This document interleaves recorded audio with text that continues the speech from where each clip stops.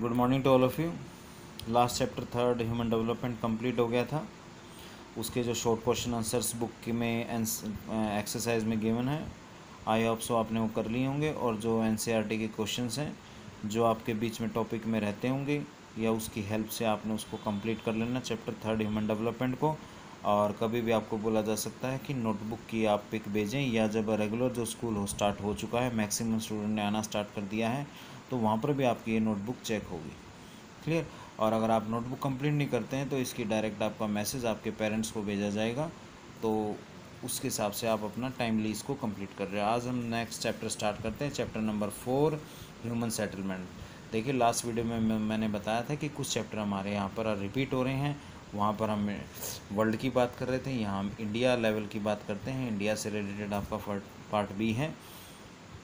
तो human settlement की वहाँ पर भी बात की थी। सेटलमेंट ह्यूमन सेटलमेंट कहाँ कहाँ जहाँ पर भी कुछ लोग रहना स्टार्ट कर देते हैं, उसको हम सेटलमेंट बोल देते हैं। और जब हम सेटलमेंट की बात करते हैं तो देखिए स्टार्टिंग में आपके पास मैक्सिमम पॉपुलेशन जो है रूरल एरिया में ही रहती थी, गाँव में ही रहती थी और केवल वो प्राइमरी एक्टिविटीज़ में ही इन्वॉल्व थी। ठीक है? जैसे जैसे डेवलपमेंट स्टार्ट हुआ, जैसे जैसे इंडस्ट्रियलाइजेशन स्टार्ट हुआ, वैसे वैसे फैसिलिटीज़ इंक्रीज़ हुई और सेटलमेंट कन्वर्ट हुई एक अर्बन एरिया में। तो यहाँ से बात आ जाती है कि टाइप ऑफ़ हम ह्यूमन सेटलमेंट की बात करते हैं तो दो आपके पास टाइप आ जाती हैं, एक रूरल सेटलमेंट और एक अर्बन सेटलमेंट यही मैं स्टार्टिंग में बताया था कि अगर हम इसकी पहले बात करते हैं तो सारी की सारी पॉपुलेशन आपकी रूरल सेटलमेंट के अंदर आती थी। फिर जैसे जैसे डेवलपमेंट हुआ तो इसकी कैटेगराइजेशन हो गया rural settlement and urban settlements की वहाँ पर आपने किस बेस पर कैटेगराइज किया गया था? तो फ़र्स्ट पार्ट के अंदर आप उसको साथ साथ रीड करेंगे कि उसके अंदर बताया था ओक्यूपेशन क्या करते हैं। ठीक है? अब एक तो ओक्यूपेशन की बात आती है और दूसरा आ जाती है पॉपुलेशन की बात आ जाती है। तो ओक्यूपेशन जो है, वो रूरल सेटलमेंट कौन से ऑक्यूपेशन करती है? Mainly involve in primary activities. Mainly किसके अंदर इन्वॉल्व होती हैं? प्राथमिक क्रियाओं के अंदर इन्वॉल्व होती है। प्राइमरी एक्टिविटीज़ में आप जानते हैं एग्रीकल्चर आ गया, आपका फिशिंग आ गया लम्बरिंग आ गया।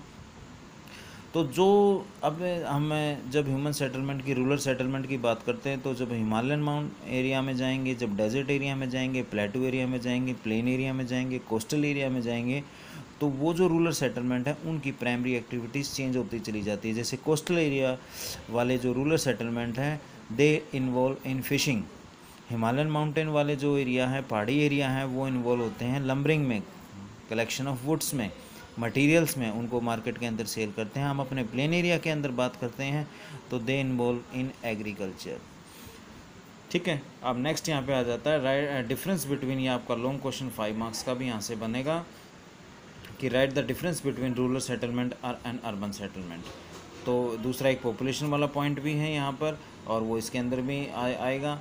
कि rural settlement mainly involve in agriculture और primary activities and urban settlement mainly involve secondary and tertiary activities यानी कि द्वितीयक और तृतीय क्लापों में आपकी जो अर्बन पॉपुलेशन है, वो इन्वॉल्व होती है। आप सेकेंडरी अर्बन पॉपुलेशन का देखिए, सोनीपत जो सिटी है, यहाँ पर मेनली पॉपुलेशन इन्वॉल्व है। किसके अंदर है? या तो इंडस्ट्रीज़ के अंदर इन्वॉल्व है सेकेंडरी सेक्टर के अंदर इन्वॉल्व है, या टर्सी सेक्टर के अंदर इन्वॉल्व है ट्रांसपोर्टेशन हो गया कम्युनिकेशन हो गया, ठीक है? तो इस तरह की एक्टिविटीज़ के अंदर ये इन्वॉल्व है। Rural settlement supplies food and other raw material to the people to urban settlement rural settlement क्या करता है? जो रॉ मटेरियल जो हम स्टार्टिंग में बात करते हैं फ़ूड हो गया या और कोई रॉ मटेरियल हो गया, जैसे मिल्क हो गया या और कोई प्रोडक्ट हो गया, वो अर्बन सेटलमेंट को कौन प्रोवाइड करता है? रूरल सेटलमेंट क्लियर और सिटीज़ क्या प्रोवाइड करती हैं? गुड्स एंड सर्विसेज़ जो उसको कन्वर्ट करके तैयार करते जैसे फॉर एग्जांपल रूरल सेटलमेंट ने मिल्क प्रोवाइड किया तो सिटीज़ ने अर्बन एरिया के अंदर क्या किया? उसको कन्वर्ट कर दिया एक स्वीट्स के अंदर और वो फिर वहाँ से उसको सर्विस प्रोवाइड की है ठीक है? अब फिर रूरल सेटलमेंट की हम बात करते हैं। तो इकोनॉमिक एक्टिविटी टोटली वो डिपेंड करते हैं अपनी लैंड के ऊपर। अपनी जो उनकी फैमिली होती है, वो उसके ऊपर डिपेंड करती है। हाँ अलग अलग रूरल सेटलमेंट की हम बात करते हैं तो लैंड साइज़ का फ़र्क आ जाता है। किसी के पास ज़मीन ज़्यादा होती है, किसी के पास ज़मीन कम होती है।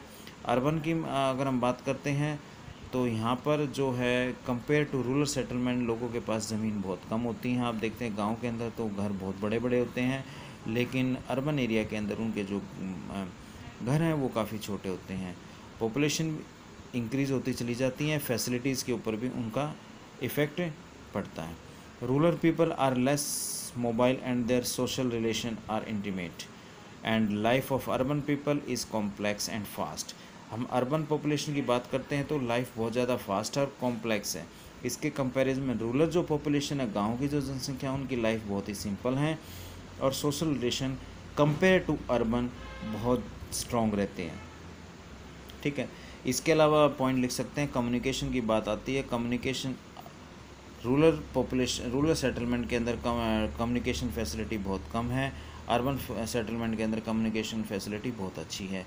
अब यहाँ पे ट्रांसपोर्टेशन की बात आ जाती है। रूरल सेटलमेंट्स के अंदर ट्रांसपोर्ट फैसिलिटी इतनी बेटर नहीं है। अर्बन पॉपुलेशन सेटलमेंट के अंदर ट्रांसपोर्ट फैसिलिटी बहुत अच्छी है। बाकी फैसिलिटीज़ के आप यहाँ पे पॉइंट लिख सकते हो। इलेक्ट्रिसिटी हो गया एजुकेशन हो गया सैनिटेशन हो गया वाटर सप्लाई हो गया। They are better in urban settlement compare to the rural settlement rural settle की तुलना में अर्बन सेटलमेंट्स के अंदर ये सारी जो हैं फैसिलिटीज़ काफ़ी ज़्यादा अच्छी हैं। तो इस तरह से आप इसके अंदर डिफरेंस के मिनिमम सिक्स पॉइंट यहाँ पे आप मेंशन करेंगे। नेक्स्ट आ जाती है factor determining the type of rural settlement कौन कौन से फैक्टर हैं जो डिटरमाइन करते हैं रूरल सेटलमेंट को? देखो, तीन फैक्टर हैं फ़िज़िकल फैक्टर एथनिक या कल्चर फैक्टर और सिक्योरिटी फैक्टर फ़िज़िकल फैक्टर की हम यहाँ पे बात करते हैं तो क्लाइमेट यहाँ पे एक आ जाता है इंपॉर्टेंट एक आ जाता है। आपका रिलीफ बच आ जाता है। ठीक है? तो देखो, जो पॉपुलेशन है, जो किसी भी एरिया में, जो स्टार्टिंग हिमालय के अंदर भी गाँव है डेजर्ट एरिया के अंदर भी गाँव है कोस्टल एरिया के अंदर भी गाँव है प्लेटू एरिया के अंदर गाँव है प्लेन एरिया के अंदर भी गाँव है तो क्लाइमेट उसके ऊपर इफ़ेक्ट डालता है। ना ही तो लोग ज़्यादा ठंडे एरिया में रहना पसंद करते हैं, ना ही ज़्यादा गर्म में, जहाँ मॉडरेट नॉर्मल सा टेम्परेचर रहता है, उस एरिया में लोग ज़्यादा रहना पसंद करेंगे। ठीक है रिलीफ आपका हो गया। माउंटेन एरिया में आप देखते हैं population compare to the plane area बहुत कम है। अरुणाचल प्रदेश की डेंसिटी सबसे कम है। Only seventeen percent per square kilometre रहते हैं। ऐसे जम्मू कश्मीर, उत्तराखंड, अगर हम सभी हिमालयन स्टेट्स की बात करें तो वहाँ पर population compare to Haryana, Punjab, Uttar Pradesh, Bihar, Chhattisgarh, इनके कंपैरिजन में काफ़ी कम है। क्योंकि यहाँ पे क्लाइमेट भी उनके फेवरेबल है। ठीक है? दूसरी अगर हम यहाँ यहाँ पे बात करते हैं कि यहाँ पर जो फैसिलिटीज़ भी उनके कंपैरिजन में बहुत ज़्यादा अच्छी हैं।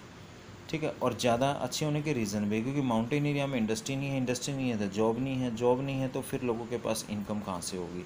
तो आप हिमालयन माउंटेन एरिया के अंदर गए हो तो आप देखते हैं कि वहाँ के लोग किस तरह की एक्टिविटीज़ के अंदर इन्वॉल्व होते हैं। सेकेंड हम यहाँ पर बात करते हैं कल्चर फैक्टर की। कल्चर जैसे जो आपका जो कल्चर यानी कि रिलीजन से रिलेटेड हो गया कास्ट से रिलेटेड हो गया, जो गाँव के अंदर आप देखते हैं कि एक गली में, एक गाँव के पखवाड़े में या मैक्सिमम एरिया में एक एक ही रिलीजन के लोग ज़्यादा रहते हैं। या एक कास्ट के घर हैं तो उसी कास्ट के घर आपको उस एरिया प्रॉपर एक पार्ट में, गाँव के एक पार्ट के अंदर मिलेंगे। ठीक है, कुछ एरिया जो सेटअप होते हैं, वो मेनली आपके रिलीजन बेस के ऊपर ही सेटअप होते हैं। ठीक है तो ये आपका कल्चरल फैक्टर आ गया जो इसको इफ़ेक्ट डालता है। नेक्स्ट आ गया सिक्योरिटी फैक्टर सिक्योरिटी फैक्टर की हम यहाँ बात करते हैं। देखिए सिक्योरिटी हर एक ह्यूमन को चाहिए होती है। जहाँ उसको सिक्योरिटी फील होती है, वहीं पर वो रहना पसंद करता है। अगर हम बिहार, छत्तीसगढ़, उड़ीसा की रूरल सेटलमेंट की बात करते हैं तो वहाँ पे सिक्योरिटी की बहुत ज़्यादा प्रॉब्लम है। हम अपने स्टेट्स पंजाब, हरियाणा, उत्तर प्रदेश वेस्ट उत्तर प्रदेश की बात करते हैं। तो यहाँ पे सिक्योरिटी उनके कंपैरिजन में बहुत ज़्यादा है। तो पॉपुलेशन वहाँ से भी यहाँ पर माइग्रेट हो रही है और यहाँ रहना पसंद करे क्योंकि यहाँ पर उनको जॉब भी मिल रही है, काम भी मिलता है। तो सिक्योरिटी फैक्टर भी बहुत ज़्यादा इंपॉर्टेंट रोल प्ले करता है। इसके अलावा भी अगर आपके फैक्टर जैसे लास्ट पार्ट के अंदर करवाए थे तो इस तरह से टोटल इसके आपने फाइव फैक्टर्स मिनिमम क्वेश्चन के अंदर होने चाहिए। तो आज आपके मेन क्वेश्चन जो बने what do mean by human settlement मानव बस्तियों से आपका क्या अभिप्राय इनकी कैटेगरी दो तरह की है ग्रामीण और शहरी रूरल और अर्बन इनमें आप डिफरेंस लिखेंगे और फिज factor determine the types of rural settlement आप इन फैक्टर्स को एक्सप्लेन करेंगे। थैंक यू और टॉपिक को रीड करेंगे।